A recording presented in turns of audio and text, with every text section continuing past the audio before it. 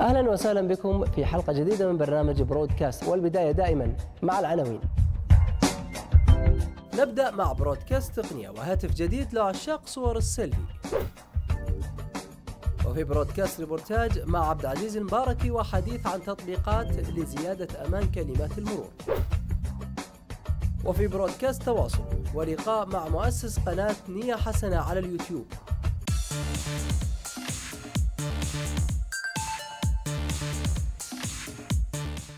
أهلا وسهلا بكم في فقرة برودكاست تقنية وجديد الأخبار التقنية. ومعنا هذه المرة سعود الخميس. سعود أهلا وسهلا فيك. هلا والله. حياك الله. من زمان التقينا من قبل رمضان. آه، سعود أنت يعني قبل لا ندخل في الاخبار أطلقت مؤخرا يمكن مشروع على الإنستغرام يمكن كان جديد من نوعه 35 ناقص 20 آه، 35 minus 20 هو يقدم لك معلومة في 15 ثانية معلومة عامة يعني تفيد أكبر شريحة من المجتمع. بالفيديو طبعا. اي تقدم فيه معلومات. اي بطريقة جميلة إن شاء الله. أتمنى لك التوفيق إن شاء الله. آمين. نبدأ خبرنا الأول. اي خبرنا الأول يقول YouNow تطبيق جديد. فكرة التطبيق هو بث مباشر يشاهده الجميع حيث تقوم بتحميل التطبيق وتسجيل الدخول عبر حسابك سواء عبر الدخول على الفيسبوك أو Google Plus أو تويتر. وتقوم بإطلاق التسجيل عبر كاميرا الهاتف ليشاهدك الجميع دون وقت محدد يمتد ربما إلى ثلاث ساعات أو أربع ساعات متواصلة. المميز في التطبيق أن دقة الفيديو وسرعة الصورة كما يمكن لكل من يشاهدك أن يطرح أسئلته عبر صندوق التعليق أسفل الفيديو. طبعا سعود يمكن YouNow آه، هذا يمكن تطبيق فيديو أخير. آه، قبل لا ندخل فيه خلينا نتكلم عن موضوع الـ Keek. Keek كان تقريبا نفس الفكرة اللهم تسجيل مش live وأغلق. إي كأن سبحان الله رسالة يعني تعالوا هناك. لكن الفرق إن هذا بودكاست وشيء حي. آه، طبعا هي فكرته كانوا موهوبين يقدمون الأشياء للناس والمعجبينهم لكن آه، يعني للأسف استخدم بشكل خاطئ وأتمنى انه يكون بشكل جميل. تاني سويت حساب وقمت أشرح الكاميرات وكذا. حاولت إني طيب ليش ليش أنا آه، إحنا دائما تطبيقات مثل هذه الفيديو يصير فيها استخدام سلبي ربما يطغى على الإيجابي مع إنه في يعني في للأمانة في في يعني خصوصا المشاهير أو الإعلاميين إجابة على تساؤلات المشاهدين اللي واللي يتابعونه. اي في لكن نسبة قليلة لكن ما أدري صراحة و- وش السبب. لكن ممكن الناس تحب تستانس أكثر منها تأخذ معلومة. يعني يمكن. يطغى عليها الجانب الترفيهي. أو حتى عالميا ترى. هو الإشكالية اللي كانوا مش ال- ال- الموضوع المزح أو الفاني لا موضوع اللا أخلاقي. اي لا أخلاقي كان للأسف يعني. بعد وش نسوي يعني؟ طيب التطبيق مثل هذا التطبيق تت- تتوقع إنه ممكن يستمر نجاحه ولا فترة؟ شفنا قبل كذا الفيد يعني طلع فترة وقالوا إنه راح يسحب ال- البساط من تحت تويتر لأنه استمر تويتر. لا ما ما أتوقع. يعني الناس بتزهق. بسبب بتزهق لأن ما في شيء متجدد. هو اللهم لا بس يمكن. لايف live يمكن هذا إي بس الاستمرارية إذا كان في شيء يعني مفيد لنا متجدد لكن هذا بينقص العدد. بينقص بينقص بينقص.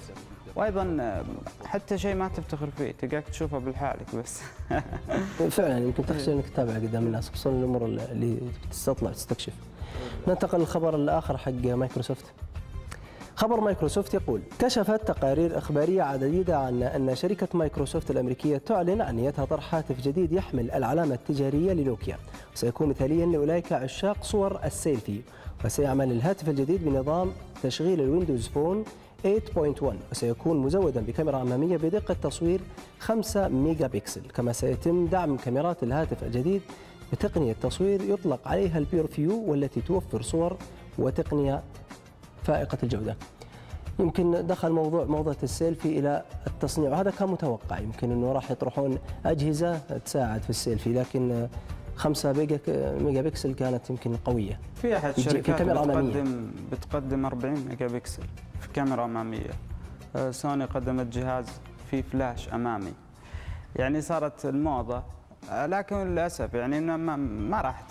هي وقت وخلاص يعني ما يهتمون الشركات آه، في هذه الأجهزة إنها تستمر يعني إنها لكن هو في الوقت يبون يسوون هاله إعلامية لكن ما أتوقع أنه يحاولون يواكبون موضة. إي لكن الموضوع بس مسألة تصنيع جهاز إنك تصنع جهاز أساس يتواكب مع موضة مثلا وقتية هذا مو مشكلة يعتبر إعلان يعني زي الإعلان. آه، وفي النهاية هم يسوون كذا عشان يعادلون. في النهاية يعني بيبالغون ثم بيرجعون للمعادلة الصحيحة. و- وفي صالحنا لأنه بيتطور الوضع. طيب موضوع الجهاز إنه يشتغل على نظام الـ Windows Phone يمكن هذا خبرنا الثالث بعد يتعلق في Windows Phone. الـ Windows Phone الفترة الأخيرة منصة صار لها رواج يعني. صار لها رواج لأن نوكيا اهتمت في الموضوع وصارت تحسن من النظام تطبيقات آه، جدا ذكية. لكن للأسف كل ما نتفائل في ال Windows Phone كل ما نحبط زيادة. يعني تلقاهم يدعمون شوي تطبيقات ثم يتأخرون التطبيقات بعدها وتكون مستواها يعني مقارنة بأنظمة أخرى أقل. أه، تتوقع للتطبيقات إنه يكون مثلا في Windows Phone أه، أه، يكون فيها فيها تحديث أكثر لل application؟ ما أتوقع. هم خلهم يوصلون مستوى الأنظمة الثانية ثم آه نشوف. خلينا ننتقل على خبرنا الثالث وبرضه خاص في تطبيقات ال Windows Phone الخبر يقول بعد أن أطلقت شركة Fitbit السوارة الذكية أو الإسوارة الذكية Flex والتي تدعم تقنية البلوتوث وتقوم بعمل مزامنة بشكل لاسلكي للهاتف الذكي لاحتساب السعرات الحرارية وساعات النوم. طرحت الشركة هذه الأيام تطبيقها الرسمي والذي يعمل على نظام الويندوز فون بشكل مجاني. حيث يتيح للمستخدم إمكانية الاقتران بين جهاز اللياقة الخاص بالشركة وبين الهاتف وذلك عن طريق البلوتوث. التطبيق يحمل مجموعة من المزايا منها عرض بعض المعلومات والإحصائيات مثل المسافة المقطوعة والسعرات الحرارية التي قد أحرقها الجسم كما يتيح للمستخدم بعض الخصائص كحفظ الإحصائيات. آه، رجعنا على موضوع ال Windows Phone. طرحوا التطبيق الرسمي الخاص بالسوارة الذكية. هم لازم عشان آه، يكون كل المستخدمين عندهم إمكانية يشترون سوارتهم طبعا فتبت آه، منافس قوي. جوبون أب وسوارات أخرى وأثبتت نفسها في السوق يعني. آه، وحبيت أرجع في الحوار لسالفة ال- اليوناو. اليوناو كتطبيق يحتاج يعني تحديث قوي عشان يكون سلس. أنت رجعت لخبرنا الأول. آه، يعني يحتاج تقص- قوي من من أي ناحية؟ آه، التطبيق ضعيف آه، ضعيف. يعني إذا لمست ما يستجيب إلا متأخر يعني يحتاج تحديث قوي عشان يكون زي ينافس. طيب تطبيق تطبيقات ال Windows Phone سواء التطبيق الرسمي حق ال- ال- ال- ال Fitbit أو ال- ال Windows Phone تتوقع لها الفترة القادمة انه ممكن توصل إلى مرحلة معينة من المنصات الأخرى مثل الأندرويد أو ال- الأبل ولا لسه بكير؟ آه، أعتقد حاليا لا لسه بدري لأن التحديثات اللي سوتها أبل وسوتها جوجل تطبيقاتها يعني سكرت كل ال- ال- المنافذ يعني يبي لهم وقت طويل إلا إذا فجروها بشيء استثنائي وغير المفهوم. سعود انتهينا فقرتنا. شكرا جزيلا لك يعطيك العافية.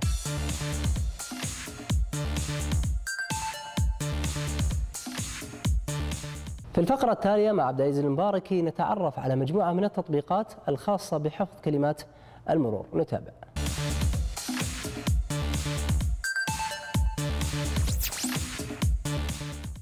السلام عليكم ورحمة الله وبركاته، أنا عبد العزيز مبارك من موقع اي زي تك، وإن شاء الله اليوم راح أعرفكم على بعض التطبيقات الخاصة بحماية المعلومات. آه، طبعا التطبيقات هذه تصنف لأكثر من تصنيف، ممكن إنك تحفظ كلمات المرور الخاصة فيك، وكذلك يمديك إنك آه، تحفظ المعلومات الخاصة الخاصة فيك سواء كان صور أو ملاحظات وغيرها.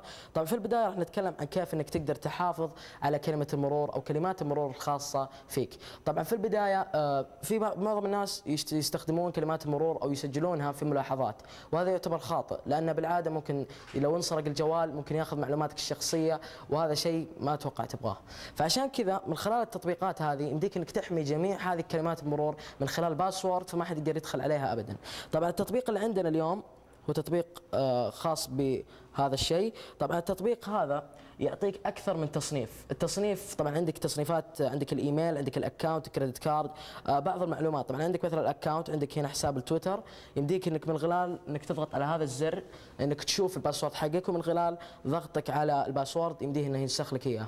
وغير كذا تقدر تسجل أكثر من شيء. تقدر تسجل إيميلاتك. البريد الإلكتروني وكذلك تقدر تسجل حساباتك الاجتماعية وحساباتك بشكل عام أو كرت البنك أو كرت أو كرت الفيزا. طبعا هذا أكثر من شيء يمديك تسويه في هذا التطبيق. طبعا التطبيق هذا ما يعتبر الوحيد في أكثر من تطبيق وفي أكثر من خدمة توفر لك هذه الميزة. وبصراحة أشوف إنه ممتاز وخصوصا للناس كذلك اللي حابين يتذكرون كلمات المرور واللي ينسونها بشكل مستمر. طبعا ثاني تطبيق واللي هو تطبيق My Disk. طبعا تطبيق My Disk يتميز بأنه يقدر يحفظ الصور الخاصة فيك الملاحظات الفيديوهات اللي أنت مانك حاب تعرضها للبعض. طبعا من خلال انك تدخل تقدر كذلك إنك تدخل بال password وعلى طول تدخل على التطبيق. طبعا من أول ما تدخل عليه حيعطيك جميع ملفاتك الخاصة سواء كان صور فيديوهات آه، صوتيات وغيرها. طبعا التطبيق هذا يعتبر قديم نوعا ما في أنواع أخرى وفي أكثر من نوع عندي آه، إنه يعطيك نفس الخاصية.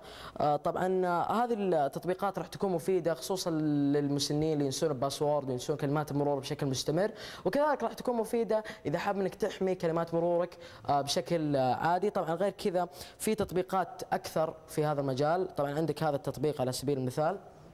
التطبيق ذا زي ما أنتم شايفين حفظت الصورة هذه آه، آه، بشكل خاص. ما حد يقدر يدخل عليها إلا بالباسورد اللي أنا دخلت فيه. فهذا شيء يعتبر مميز. طبعا عندك أكثر من شيء يمديك إنك تدخل من الإنترنت وتحمل براء وتحمل صوتيات تحول فيديو تحمل فيديوهات بشكل خاص. ما حد يقدر يدخل عليها إلا بكلمة المرور. طبعا هذه بعض التطبيقات اللي تقدر تحمي نفسك فيها من إنك آه، من من سرقة معلوماتك. والله يعطيكم العافية.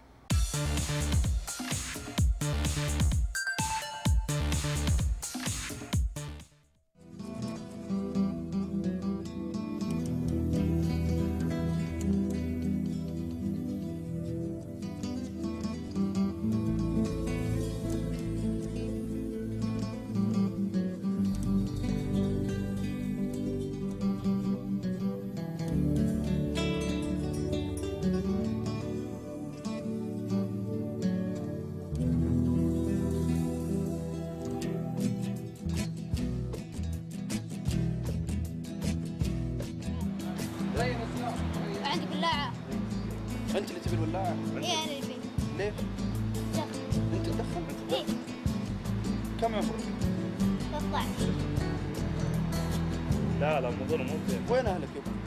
أهل البيت يدرون إنك تدخن؟ لا ما يدرون إنك تدخن؟ لا خذ لا مو زين خذ رقم. عطنا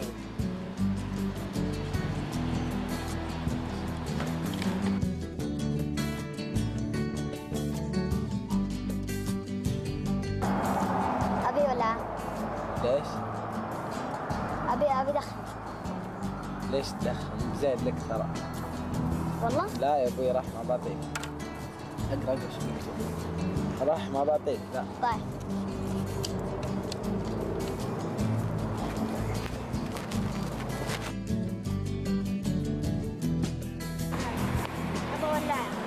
ولا. ليش تدخن حبيبي؟ لا حبيبي الدخان ما يستاهل عيب حتى أنا أنا أسوي شيء غلط. حتى اللي أنا أسويه هذا غلط من وين اخذت السياره؟ لقيتها في الأرض طايحة؟ لا لا عاد تاخذها يا بابا زين؟ ولا عاد تاخذها عيب حرام الله عمرك تو صغير لسه صغير زين؟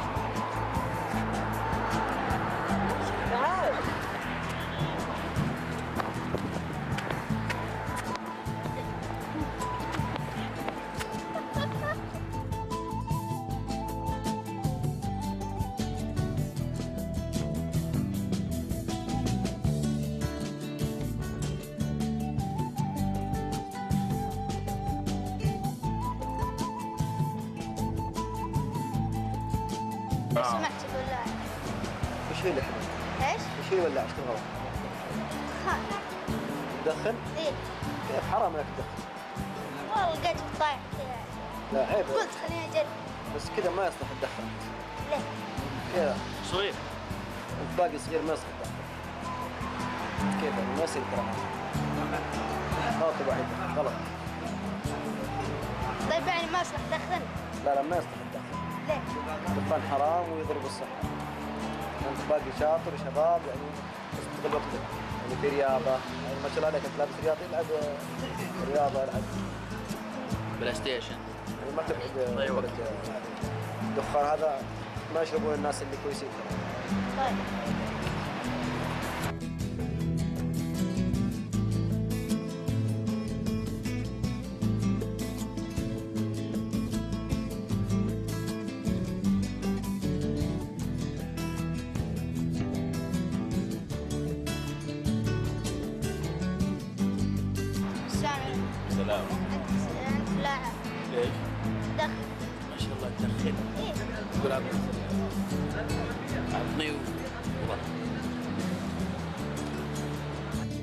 مشروع فيلم يقدم لدكتور في الجامعة إلى مجموعة تطوعية تطلق قناة على اليوتيوب وتحصل على نسبة مشاهدة عالية. سنتعرف أكثر على هذه المجموعة مع أحمد الغامدي رئيس المجموعة. أحمد أهلا وسهلا فيك. يا هلا وسهلا.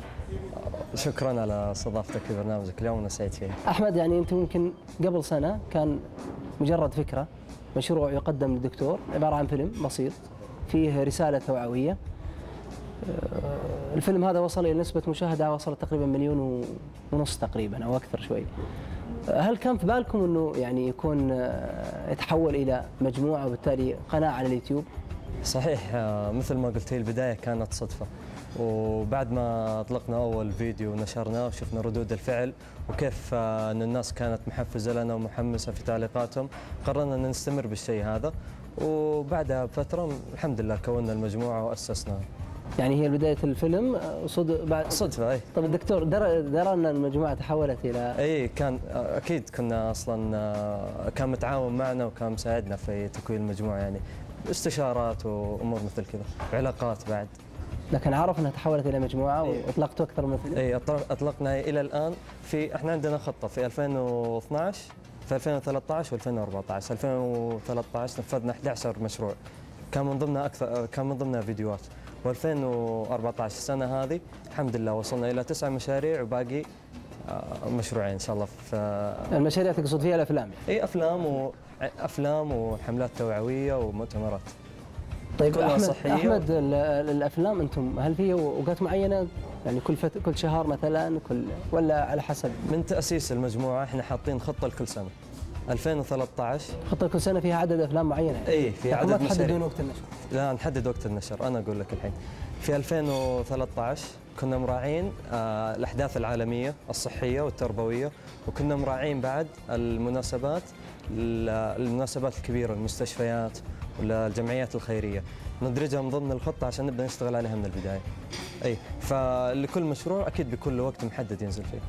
طيب ليش أطلقتوا عليها ويل ويل أو نية حسنة؟ يعني بالعربي نية حسنة. اي هي نية حسنة ترجمتها اول وال آه، سميناها بالاسم. اي بالاسم هذا لأنه تبينون إنه إنجليزي كذا لا ولا؟ خفيف على اللسان وما قد يعني أحد قد استخدم الاسم هذا. فلو كان الاسم هذا دارج في المجتمع بيكون آه، منسوب لنا. فهمت؟ يعني إذا قال أحد ولول خلاص معروف منهم ولول طيب أحمد يمكن خلينا ندخل في ال- المقطع الأكثر شهره، ليش خفت على صحتي ليش ما تخاف تخاف على صحتك؟ هذا يمكن هو ال- اللي وصل إلى نسبة مشاهدة وهو كان البداية بالنسبة لكم. ال- المقطع من كان من كان صاحب الفكرة؟ الشرارة الأولى في المقطع.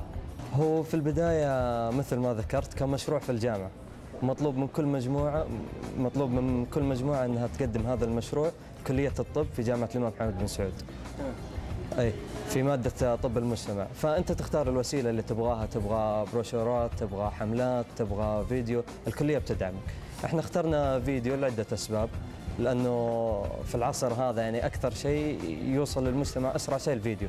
تلقى الأطفال الصغار يدخلوا اليوتيوب الكبار جميع شرائح المجتمع تدخل اليوتيوب. فهذا اللي خلانا نختار الفيديو. اللي خلانا نختار التدخين كان الموضوع هذا مثل ما أنت عارف. يعني إذا سألتك كم تعرف واحد مدخن لا يقل عن ثلاثة بيجاوب. أي واحد تسال في الشارع أكيد لا يقل عن ثلاثة. فهذا موضوع مهم. وفي نقطة إنه أغلب الناس اختاروا التدخين يعني أو قد يتكلموا عن التدخين أو ما أتكلم عن موضوع التدخين يمكن طرح التدخين أو مضار التدخين هذا شيء متعارف عليه، لكن الفكرة كانت جديدة. وهذا هذا سؤالي من صاحب الفكرة أو من الشخص اللي ابتدع هالفكرة إنه طفل يروح لمجموعة ناس جالسين؟ قبل لا نبدأ في المشروع يوم اخترنا إنه فيديو اخترنا الموضوع سوينا brainstorming كيف ممكن نقدم الفيديو هذا. فاحنا مجموعة من ست طلاب سويتوا جلسة إيه، عمل. اي جلسة نقاش جلسة نقاش عصف ذهني فكرنا فيها فأنسب أنسب موضوع اخترناه مين اللي اختار؟ أنا ما أبي اوصل للاسم عشان إيه، لا لا. عشان تعلمني مجموعة أنا منهم. أقول لك. أنتم ثلاث أشخاص أو أربعة؟ إحنا ست أشخاص تقريبا فعرضنا أكثر من فكرة واحدة من الأفكار هذه كانت مقتبسة من فيديو ثاني ممتاز. فواحد ورانا الفيديو هذا. قلنا يعني لا مانع أن نطبق الفكرة هذه دام إنه فيها رسالة هادفة وفيها توعية قوية مؤثرة بعد في الناس. طيب إذا بتكلم عن مثلا الأفكار الأخرى اللي تكلمت عنها مثلا فيه برضو كلمني على قد عمري. يعني هذا يمكن كان كانت ردود الفعل عليه كانت جميلة يعني على الفيلم. لكن هناك مطالبة يعني شفت أكثر من كومنت أو أكثر من تعليق. آه، ليش ما طرحتوا الحل؟ أنتم دائما في افلامكم تطرحون المشكلة بس. أو حتى في السلوك التربوي. ما بالضبط. إحنا إحنا دائما في الأفلام اللي نسويها الصحية والتربوية ما نعطي حلول أو أغلبها ما نعطي حلول. يكون رسالة غير مباشرة ونعرض فيها المشكلة. أنت إذا عرضت المشكلة هنا أعطيت أكثر من نص الحل. ممتاز؟ إحنا عرضنا مثلا في فيديو الإعاقة عرضنا المشكلة إن الناس تنظر إلى إلى الكرسي ما تنظر إلى الشخص المعاق. لكن ما قلنا لهم بالنص كذا إنه لازم تراعون المريض. لازم تراعون المعاق تراعون شعوره لا عرضنا المشكلة. فيديو كلمني على قد عمري نفس المشكلة. عرضنا آه، نفس نفس الشيء. عرضنا المشكلة والناس هي اللي عليها الحل. لأنه إذا عرفت المشكلة خلاص هنا أكثر من نص الحل إن شاء الله. يعني أنتم مصرين إنكم ما راح تطرحون الحل ابدا. إن حتى شاء الله. حتى في الأفلام القادمة. مصرين بعد انه فكرتنا ما تكون مباشرة.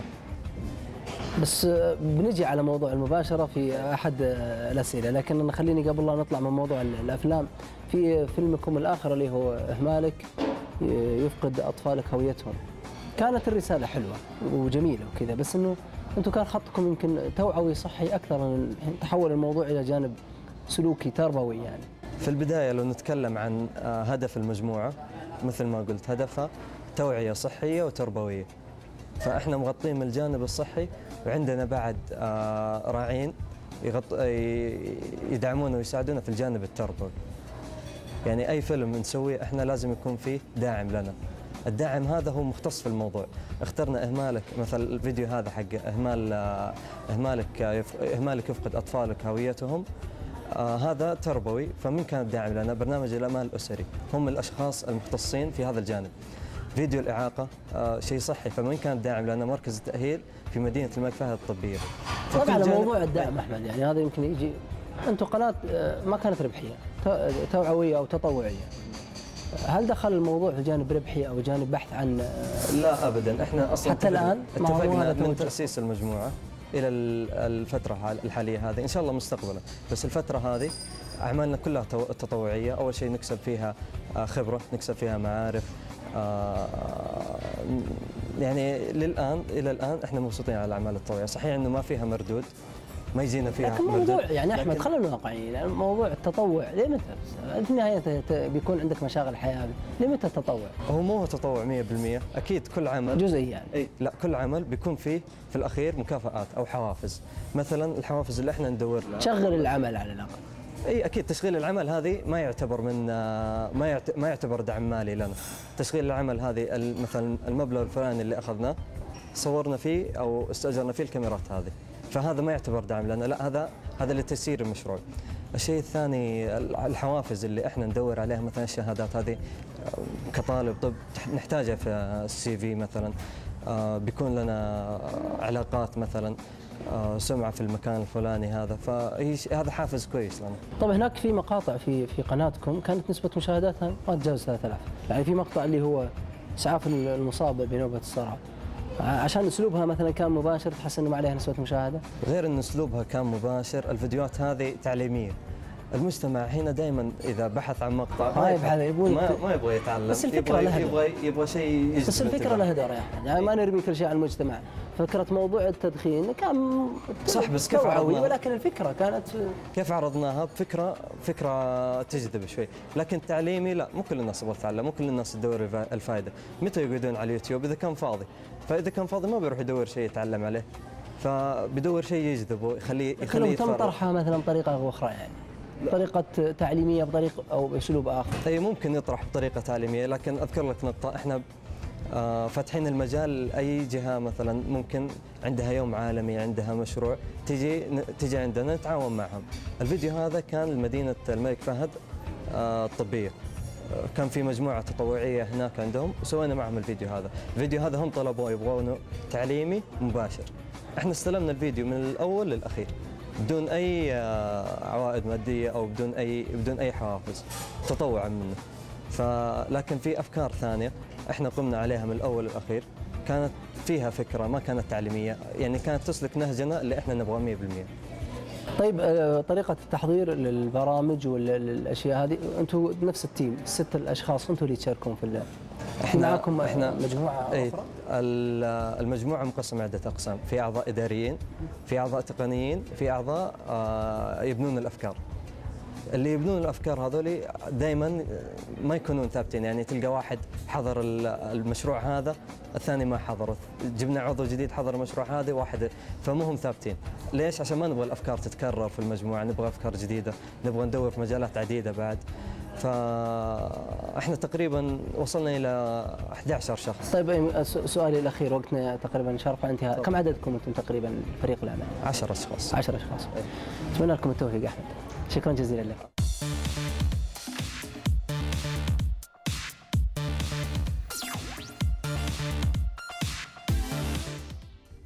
وفي الختام مشاهدينا يمكنكم التواصل معنا من خلال مواقع التواصل الاجتماعي الخاصة بالبرنامج فيسبوك وتويتر وأيضا على هاشتاج البرنامج برنامج برودكاست. ونودعكم بلقطة الختام وساعة ذكية لتحديد مواقع الأطفال. نتابع. في أمان الله.